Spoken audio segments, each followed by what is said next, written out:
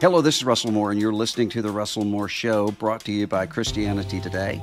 Every week, we explore here conversations and questions from a Christian perspective to help you sort out how to live as a follower of Jesus in confusing times. And this week, we have a conversation to seek to do just that.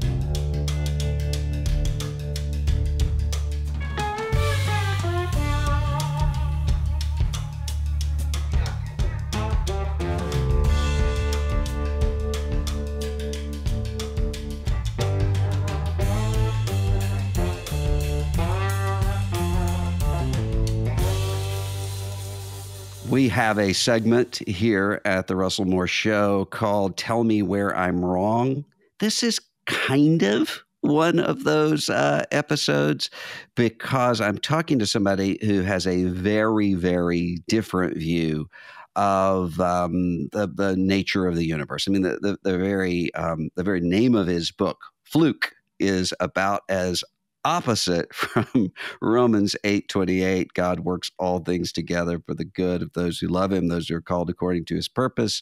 Uh, so he has a very different view and he's going to tell me why he thinks I'm wrong about a a personal meaning behind the universe but I also think that there are going to be some things uh, that we actually can learn from even where we disagree. So, Brian Klaas, who's an American political scientist, writer for The Atlantic, hosts the Power Corrupts podcast, and is a professor of global politics at University College London, has written about power and all kinds of things. And now we're going to talk about chaos theory. And it, it, you might think, listen, oh, chaos theory doesn't have anything to do with uh, with me. Well, here's how it does if you think about Peter Kreeft, the philosopher, uh, talks about uh, the fact that if Joseph had not ripped his his robe in uh, in leaving the encounter with Potiphar's wife, he wouldn't have ended up in prison. If he hadn't ended up in prison, he wouldn't have been interpreting these dreams. Uh, if he hadn't been interpreting the dreams, he wouldn't have been uh, he wouldn't have been elevated to his role of governance in Egypt. If he hadn't done that, he wouldn't have been able to save his brothers from the famine. And if he hadn't done that, then the sons of Israel would have died out. And if they had, we would have had no David, no Solomon, no Bethlehem, no Jesus. And so Kreeft's point is all of the salvation of the world the hopes and fears of all the years were all based on how good a work a tailor did with some seams. We're going to talk about the details of your life and whether that matters and whether that has meaning. You talk about uh, in the book Nagasaki and Hiroshima and how a, a really minor uh, sort of decision changed the whole sweep of uh, Western history. What was that decision? Yeah, so the, the story that opens the book is a, a, vacation that a couple takes in 1926 to Kyoto, Japan. So Mr. and Mrs. H.L. Stimson go to Kyoto and they fall in love with the city. They have that experience all of us do when we go on vacation and get a soft spot for a place. And 19 years later, the husband, Henry Stimson, uh, had become America's Secretary of War. So he was the chief civilian who was overseeing everything to do with the war campaign. And so when the decision was being made of where to drop the first atomic bomb, the generals got together in something called the Target Committee, along with some scientists, and they unanimously agreed that Kyoto was the top choice. And Stimson sort of sprung into action and twice met with President Truman and got it taken off the list. And so that's why the first bomb went to Hiroshima and the second bomb went to Nagasaki because the original target, Kokura, had cloud cover over it when the bomber uh, arrived. And so I opened the, the book that way because I'm trying to make the point that this 19 year old decision to go on vacation in one town versus another meant that 100,000 people died in Hiroshima rather than Kyoto. And that mm-hmm. a passing cloud meant that the people died in Nagasaki rather than Kokura. And I think this is how the world works all the time, but rarely do we see these glimpses where the small decisions add up to the big consequences, even as they are happening all around us. Do you think that the fact that multiverse themes in novels and movies, I mean, I think of Blake Crouch's Dark Matter is uh, about to come out as, I think, a Netflix uh, series all about someone who the little decisions that he made changed the course of his life, and he's trying to, to reverse engineer some of those. Uh, there's there's so many plots like this. Do you think that is because we intuitively know that our little decisions matter, or are we becoming more aware of that in this kind of weird scientific era we're in? Yeah, so I think it's it's a great question because I think what's happening is that all of us sort of intuitively understand this as we go through life, as we grow up, and so on. And the, the clearest cut way I try to describe this is that whenever there's a science fiction plot that involves time travel to the past, very often the, the premise, which we all accept, is that if you tweak this little detail in the past, then the future, which is now our present, could be rather different. And it could even delete yourself or humanity from history. That's the sort of premise of these sci fi books or, or, or films. Mm-hmm. And we completely throw this out the window when it comes to the present right? We never mm. think that like the moment that we have right now is reshaping the future a thousand years down the road, or even 500 or 50 years down the road.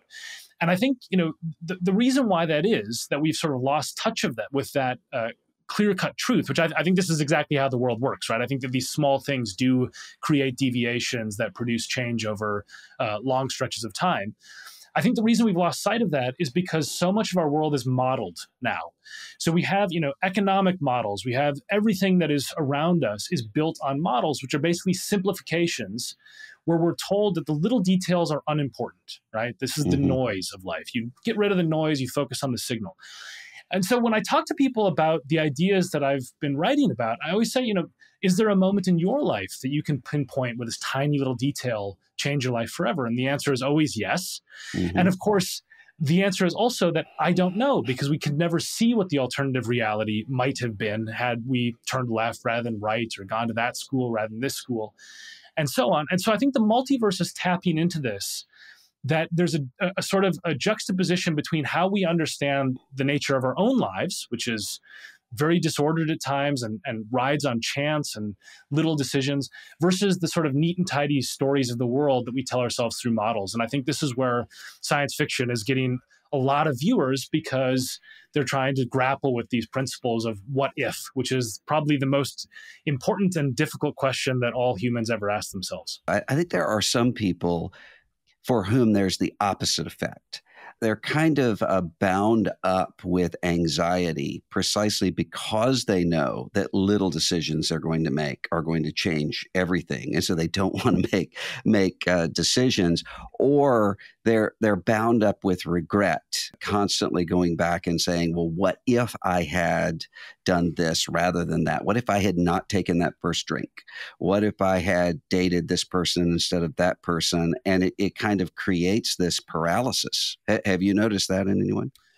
Yeah, and I think this is where. So this is the other reason why I wrote Fluke is on a personal level. I have a, a very sad story in the beginning of the book about a, a, woman who has a mental breakdown in 1905 in her farmhouse in in Wisconsin, and takes the lives of her four young children and then uh, her own life. And this is my great grandfather's first wife. So he came home and found his entire family dead and ended up remarrying eventually to my great grandmother, which produces the lineage that, you know, is why I exist, why we're having this conversation. And so when I found this out, you know, in my mid 20s, and this is where it gets to your question, I realized that every joy in my life wouldn't have existed but for the terrible, horrific suffering of those innocent young children. And so, you know, when you have a life like that, where you sort of viscerally understand that you're joys are the outgrowth of their pain and vice versa. I think to me, it gives me this sense that, you know, you can never know what's going to happen. Of course, she did not understand that her decision was going to produce me or this podcast conversation or anything that I've done in my life. And so to me, I think there's this sort of mystical wonder that does exist in the world, whether it's in the realm of religion or science, whatever, that we cannot forecast the future. And that mm-hmm. uncertainty to me is really uplifting, actually, because it means that even when you make mistakes, you sometimes produce good effects. It doesn't mean you should make mistakes. Obviously, I would rather that, you know, she had not killed her children, although for me it's, you know, I wouldn't exist. So, but it is one of these things where you sort of understand that, you know, you can go out and plant a tree tomorrow and maybe in a 100 years a child will fall and, and hurt themselves from that tree that doesn't mean you shouldn't right it yeah. means that you live probabilistically you try to do what you think is the best thing in the moment but it also sort of gives you the sense that there's this very uncertain future that you're constantly rewriting as part of your life. But, you know, I, I don't find myself crippled with anxiety or doubt. I just try to live as best I can. And I don't know how it's going to turn out. And I think that's the best that humans can do. I think that we delude ourselves when we try to assert complete control mm-hmm. over a world that we fundamentally cannot control. And, and I think there's a lot of mistakes and hubris that come from that worldview, which is, you know the worldview of sort of controlling the world through models manipulating it and also sort of saying uncertainty in every way is bad i think uncertainty can be uh, quite good sometimes. So that's a long-winded way of saying that I, I, think there's this sort of aspect of the future that is just unknowable and maybe that's good for us. Right now right before we had our conversation there was a new poll that came out on the presidential campaign and uh, in the united states and i had i don't know seven friends immediately who are sending me this poll and saying what does this say about november and I, I, wonder if one of the reasons that polling is so bad right now, when you look at kind of post 2016, is for that very reason. There was an assumption in 2016 that the fundamentals were what mattered and that and that you just look at the fundamentals it's going to work and then there were some flukish things that happened in some events and in, and in some particular states and we just weren't ready for that in this kind of era yeah so you know, when I think about the fundamentals, what I would say is that people try to read into them extensively. The fundamental I can put, you know, I, w- I would bet on is the race will be somewhat close. That's mm-hmm. the only fundamental I can tell you, right? And I think the obvious problem with polling, which is not to take on the polling industry, they're trying to do their best with an uncertain future. It's that if I said to you, okay, I'm going to poll who's going to win the, you know, election in 30 years, you would say this is ridiculous, right? Yeah. So all it is is a question of when does it become meaningful? And if we're going to say, okay, six months out, five months out, we can now do this, well, people will have different views on this. And my view is the world is going to be different in November than it is in, in May. And so I can't forecast, and the polls are not trying to forecast really. What the what the polls are trying to do is saying if the election was held today, who would win? But the mm-hmm. election's not held today. And a lot of stuff is going to happen between now and November. And I think all this stuff about October surprise and so on, it's, it's as though there's a, a race that happens before, and then there's this sort of shifting thing. There's only one race, and it's November. And that's the only poll that matters. And I think, you know, what people tend to believe is that these opinions or viewpoints are fixed. I, there might be another war. I mean, in, in, in 2020, there was a pandemic that broke out in March. I mean, you know, all the polling in February it had nothing to say about the November election because this massive upheaval of the world happened. So all I would say is, as someone who's a political scientist, is I will guess that this is going to be a close race. Anyone who tells you that they know what's going to happen beyond that is not telling the truth. It's fundamentally impossible to know what's going to happen because the world is not a static thing. I wonder your response to this statement. God has decreed in himself from all eternity by the most wise and holy counsel of his own will freely and unchangeably all things whatsoever comes to pass. Yet so as thereby God is neither the author of sin, nor has fellowship with any therein, nor is violence offered to the will of the creature, nor yet is the liberty or contingency of second causes taken away, but rather in established in which appears his wisdom in disposing all things and power and faithfulness in accomplishing his decree. Some 17th century uh, wording there, but the, the general idea being that everything happens according to the will of a personal being. How would you respond to that in terms of your viewpoint and fluke? Yeah, so I, I love this question because one of the surprises I think in in writing this book, I was I was a little bit worried actually about how it was going to be received by people who were particularly devout. And personally, I'm not right. So I mean, I, am pretty yeah. straightforward about this in my writing. I, I, I'm not I'm not a believer, but what I found is actually there's a lot of common ground between people who sort of view God as the author of everything and what I am, which is a hard determinist according to the laws of physics, right? Mm. And so w- what's really interesting, I had, I had some fascinating conversations about this with people where I said, look, you know, I think that stuff happens in this unbroken chain of causes and effects. And so I I personally don't believe in free will in the form of, you know, that I can choose everything that I want to about my life. I think a lot of it is determined for me by my parents, by all sorts of things in my genetics, etc., as well as the fact that I believe that my mind and my brain are basically the same thing. I think there's physical matter in my brain that is causing me to behave in certain ways. Now, that's a radically different viewpoint than someone who is thinking that they are the instrument of God in a way. But there is actually some commonality here because you sort of think that you are living out uh, some sort of predetermined or or somehow influenced part of your behavior. And for me, that's not God. It's physical causes through science and rationality and things that came before me in this unbroken chain back to the Big Bang. But what's what I think is really interesting about these ideas is that the fact that there's an overlap tells you that there is something where humans are grappling with this underlying question of whether we are the authors of our own destiny or not. And you know, this this is the stuff where theology and science are actually not as far apart as I think sometimes people believe, because they're trying to answer the same question.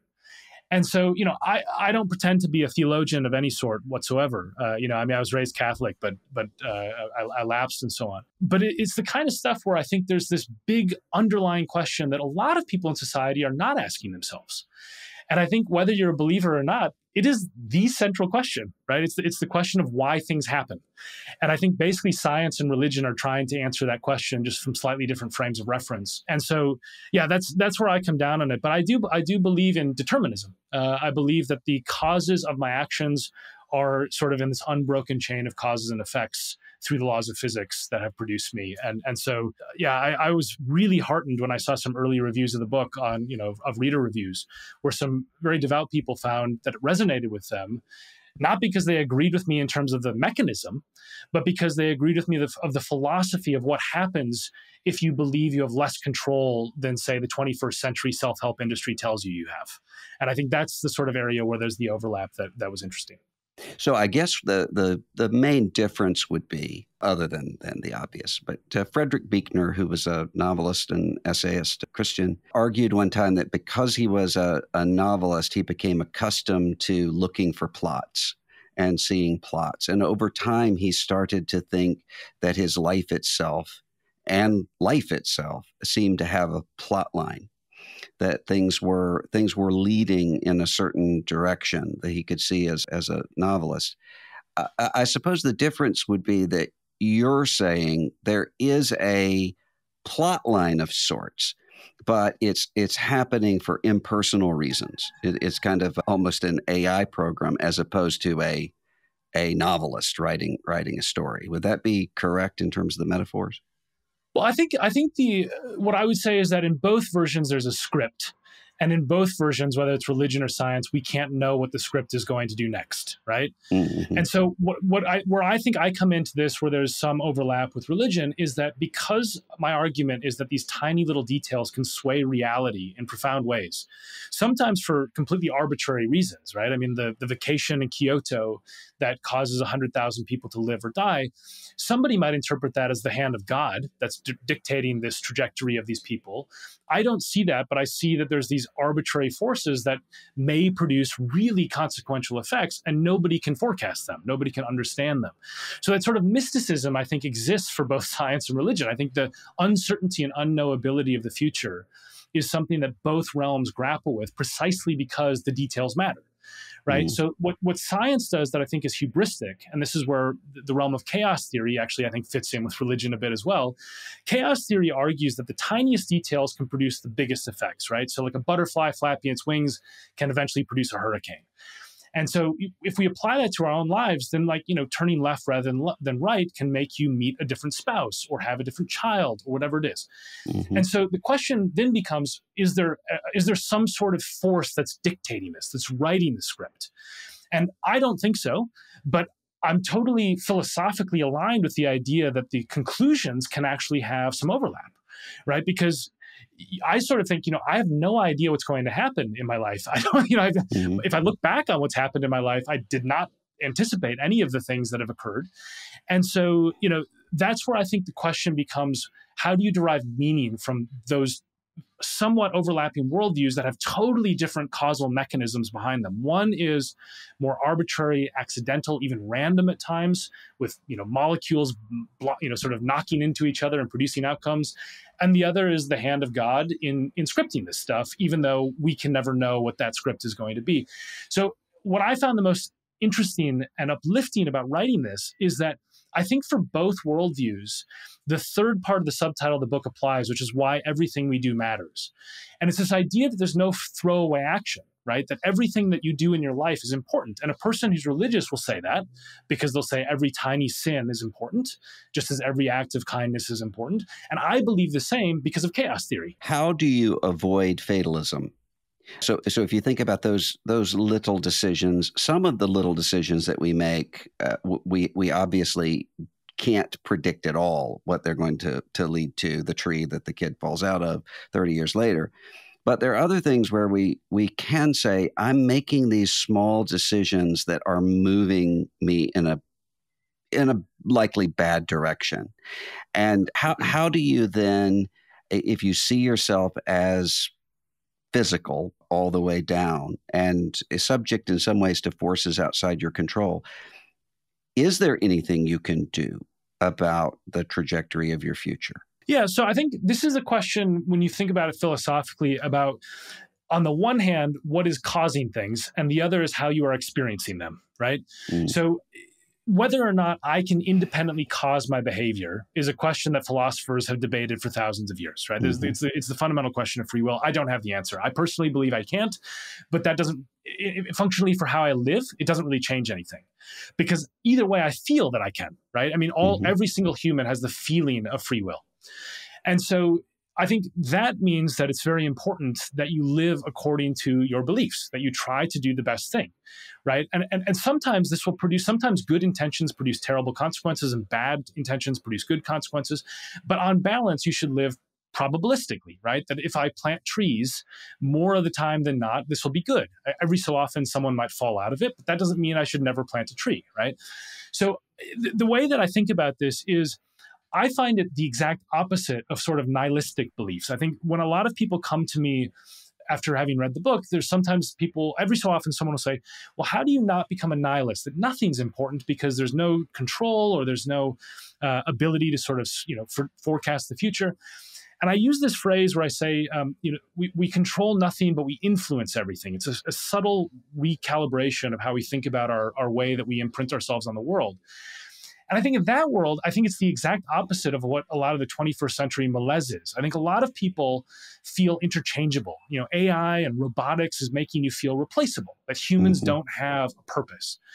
And I think what I'm arguing is exactly the opposite that the tiniest details of your life are going to shape the trajectory of future people and the people around you.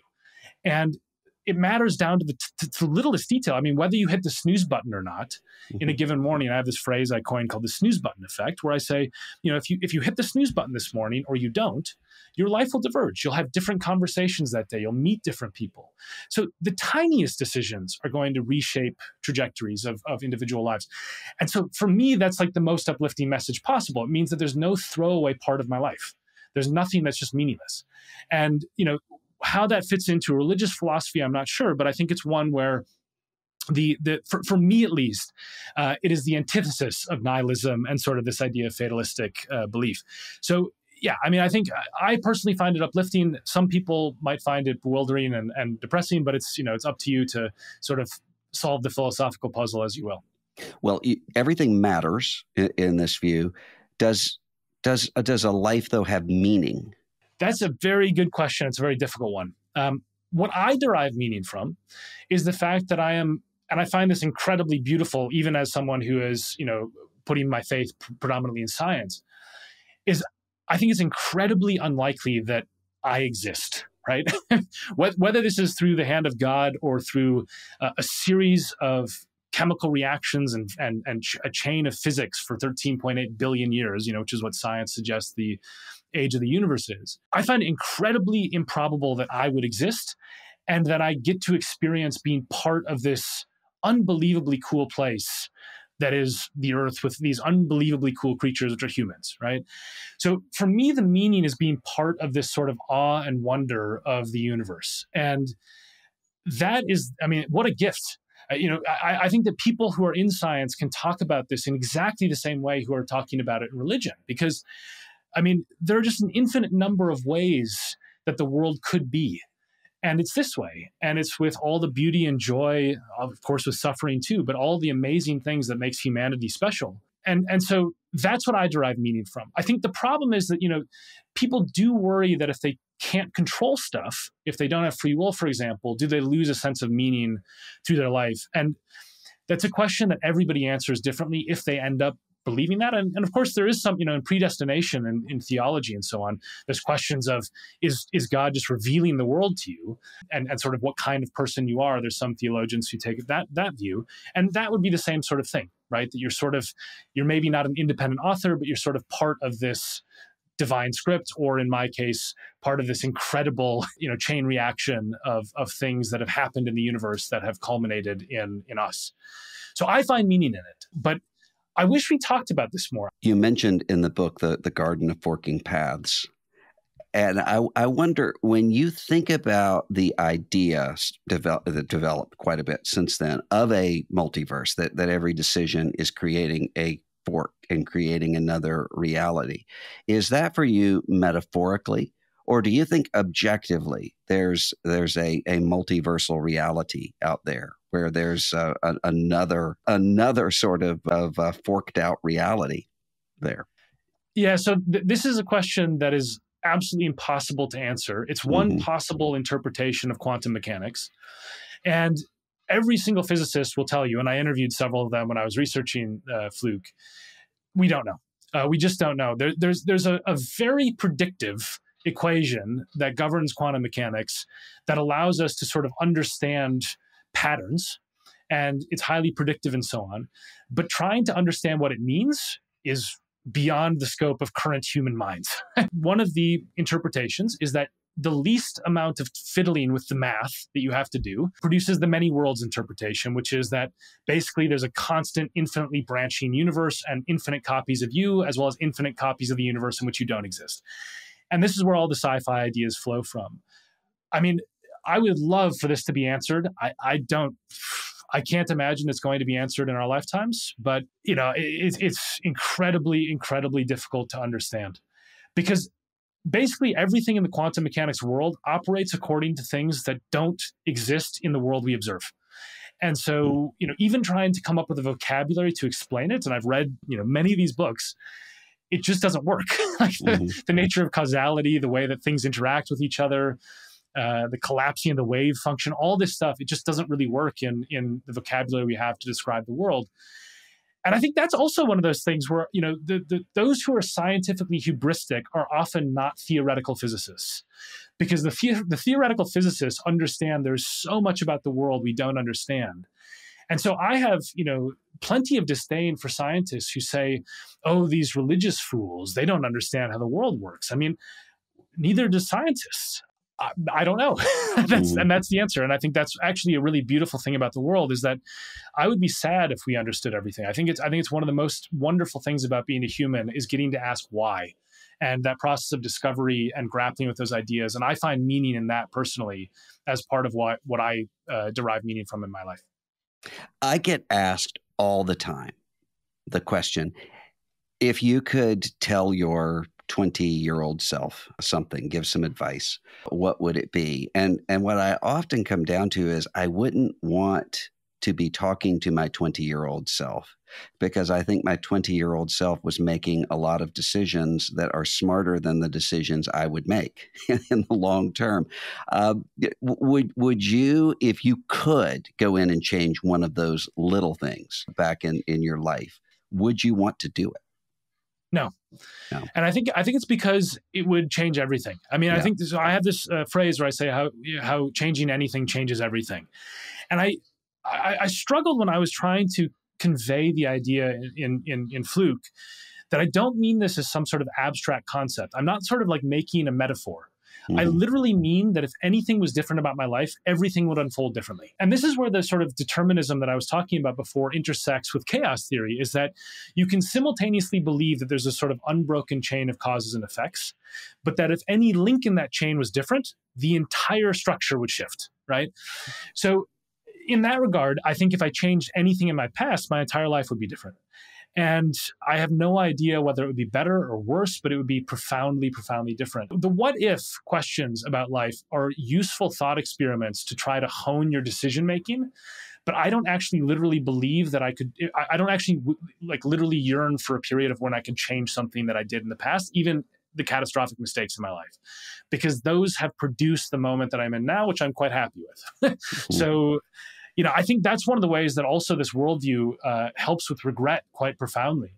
Is that you know when I think about this horrific experience of this mass murder of children producing me, I also have to think that the moments of regret in my life are inextricably linked to the most joyful periods of my existence as well. They couldn't exist without each other.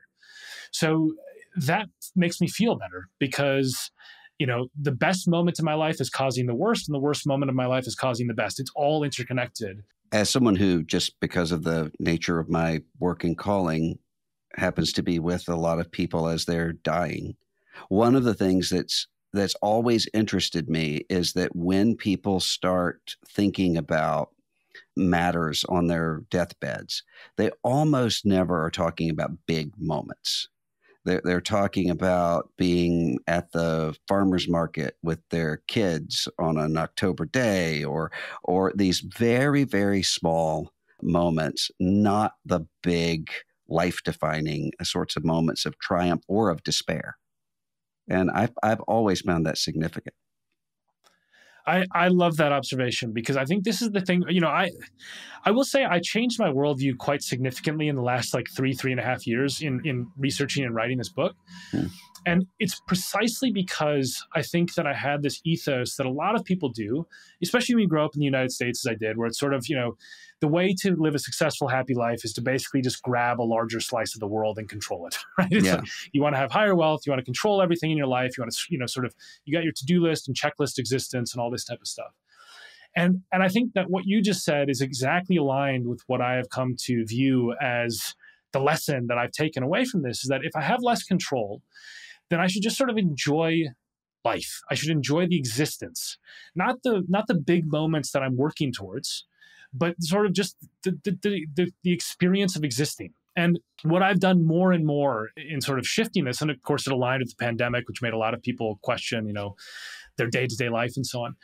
I spend more time just around people I like, walking my dog, enjoying nature.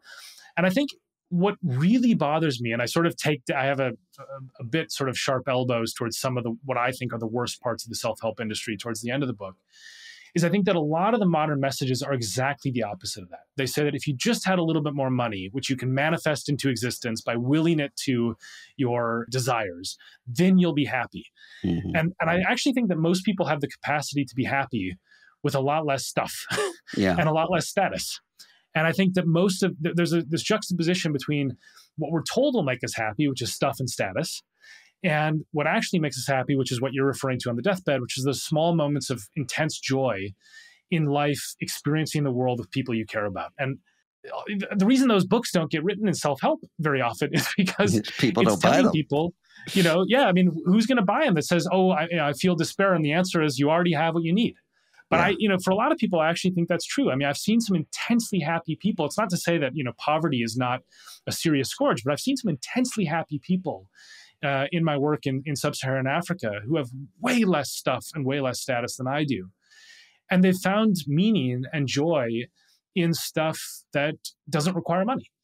And so, you know, I, I think there's this aspect where that question about what you think is important on your deathbed, I wish we would ask ourselves that a lot more during our lives. And it's it's one silver lining of the pandemic for a lot of people is people contemplated that a bit more when you had this sort of giant shift in in the world all of a sudden of what it, what is the point of my life and that sort of deathbed uh, reflection is something that if you have that when you are you know 20, 30, 40, 50, 60, mm-hmm. you'll start to live a slightly different life than if you only sort of imbibe the the, the sort of world of of just control more of the world and you'll be happy.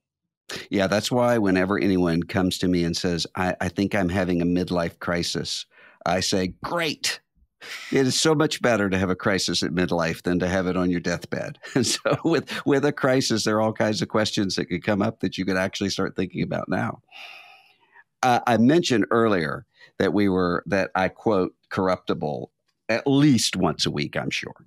And there are all kinds of reasons for that. But one of them is because I have noticed in church life, religious life, denominational life, exactly the pattern that you talk about in that book, which is that that sort of the dictator dilemma that, that you mentioned. You look you look at what happens to dictators and, and everyone else says who would want to who would want to do that.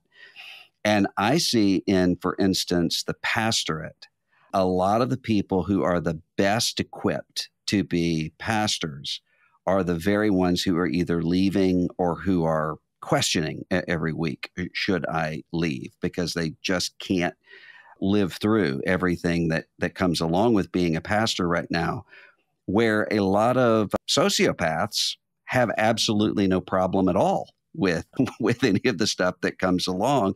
And it, it worries me when i see the the people who are kind of uh, normal well-adjusted people pulling back and disengaging and the people who are maybe in it for the wrong things plunging in is there anything that we can do about that yeah, it's it's a it's a great question because it's a really a chicken or an egg problem, right? Mm-hmm. That uh, and, and I'll use the analysis of politics, which I know better than the pastorate, but you look at modern politics in the United States, and most people see a cesspool, right?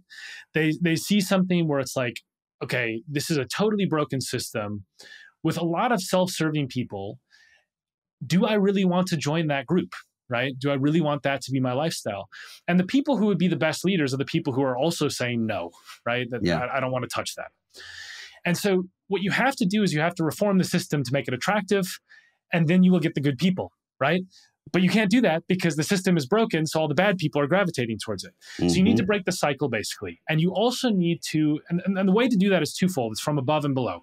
So from above, you have to do systemic reform. So you have to make, whether it's the pastorate or the political sphere, attractive where an ordinary and decent person who wants to serve rather than you know self-serve thinks it looks like a good idea and a vector for helping people and at the same time, you have to get those path breakers who are willing to say, okay, I'm going to go into the cesspit, right? Like this yeah. is going to be terrible for me personally, but I'm going to be the person who actually fixes this.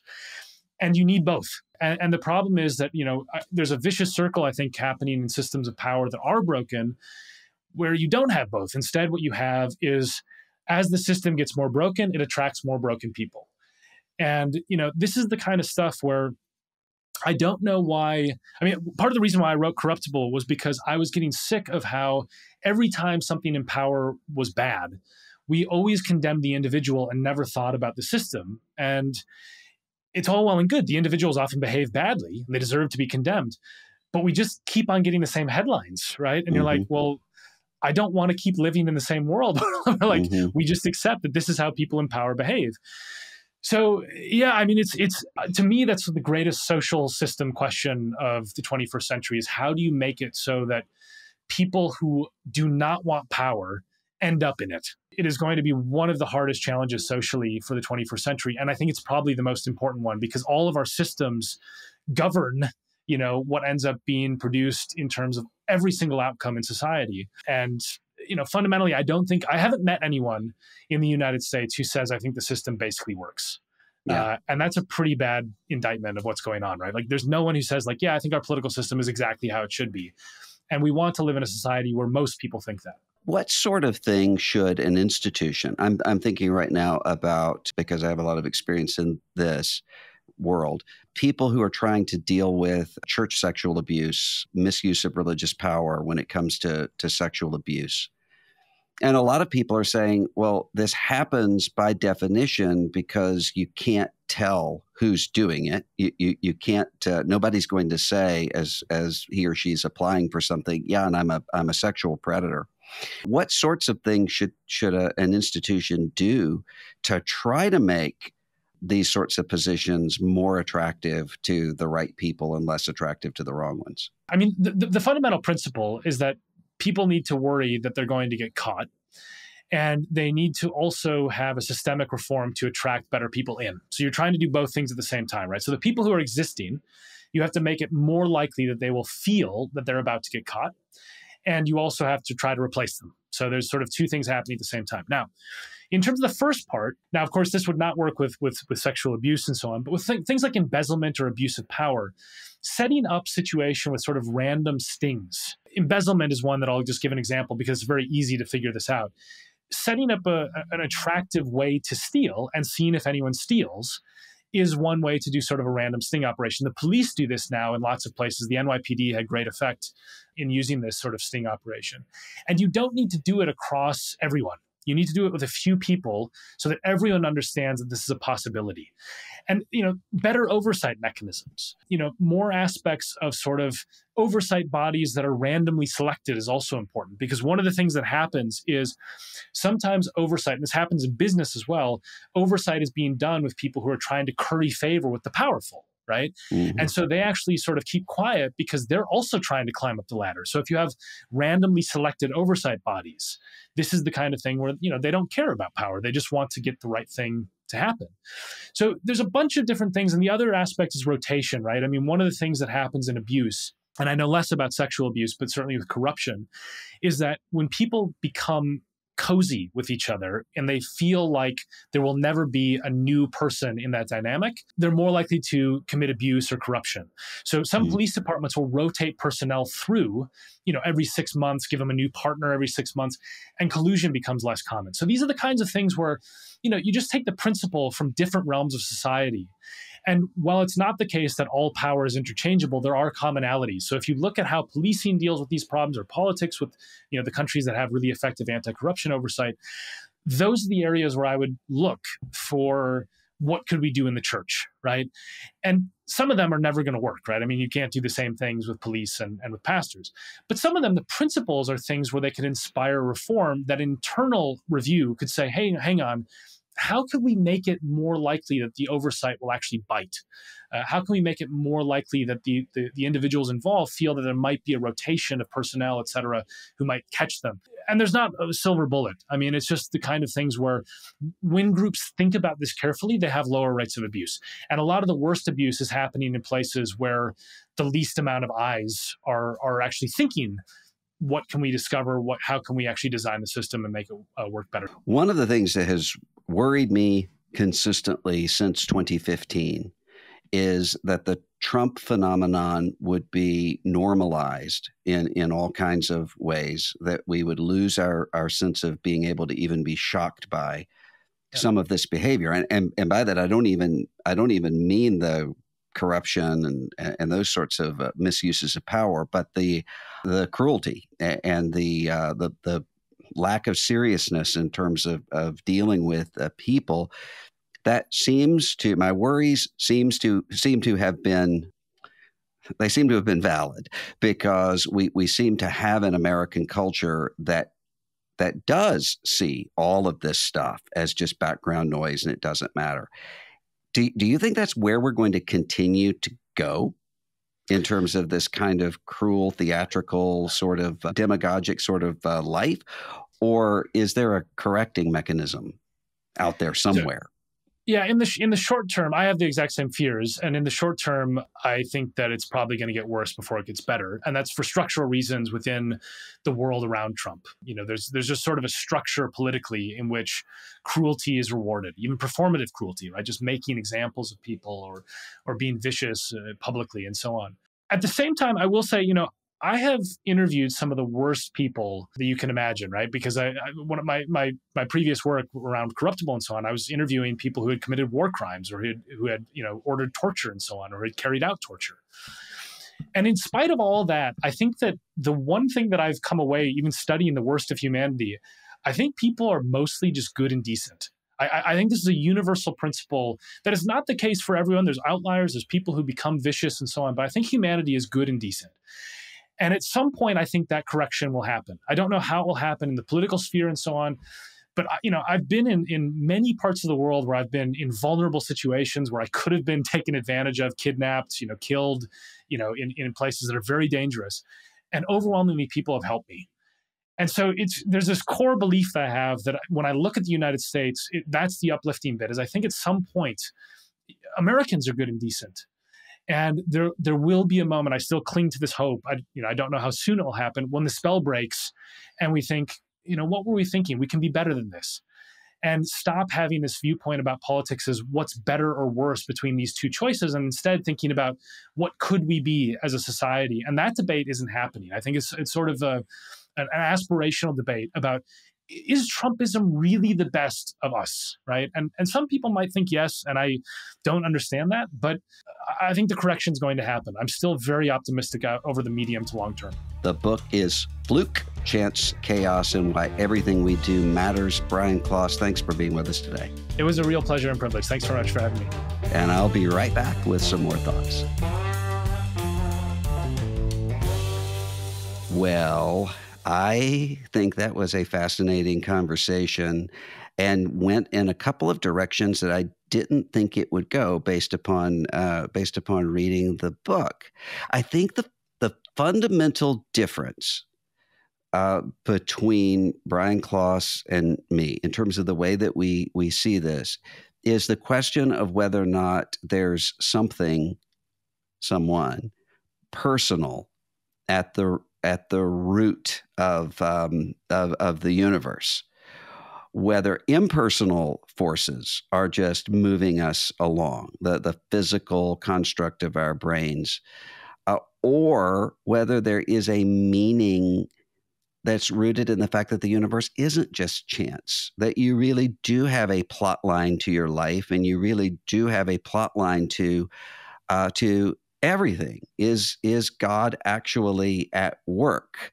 In in in all of the mystery of that i mean w- christians have been arguing uh, for a long time about um, how does god's sovereignty relate to the fact that we are free choice making uh, beings?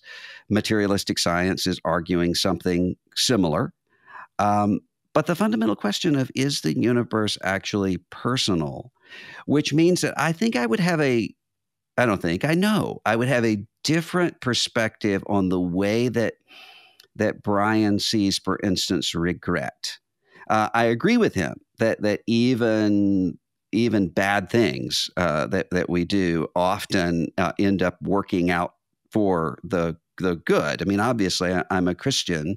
I believe that uh, the crucifixion of Jesus was the most hor- horrific crime in uh, in the history of the universe, and yet also was the way that God redeemed the world and and defeated the devil.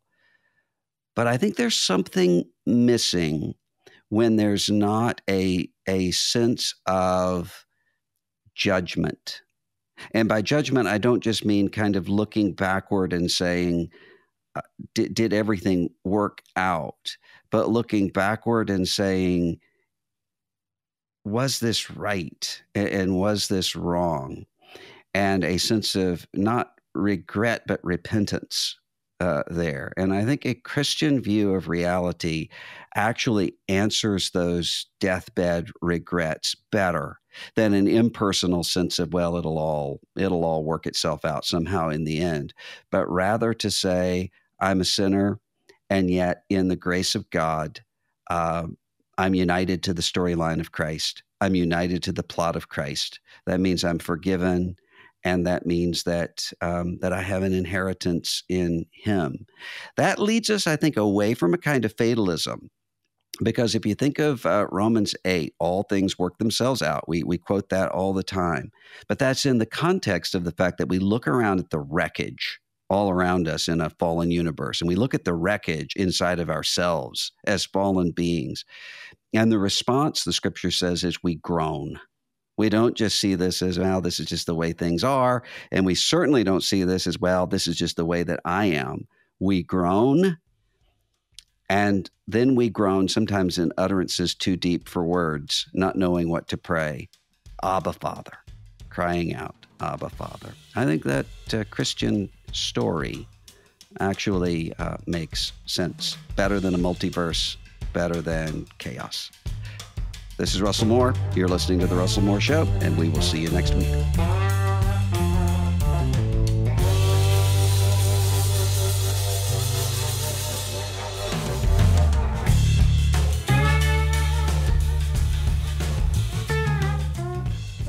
If you enjoy The Russell Moore Show, take a second to share this episode with a friend or leave a rating and review wherever you get your podcasts. The Russell Moore Show is a production of Christianity Today. Executive producers are Eric Petrick, Russell Moore, and Mike Cosper. Host is Russell Moore. Produced by Ashley Hales. Associate producers are Abby Perry and Mackenzie Hill. Director of Operations for CT Media is Matt Stevens. Audio engineering provided by Dan Phelps. Video producer is Abby Egan, and the theme song for The Russell Moore Show is Dusty Delta Day by Lennon Hutton.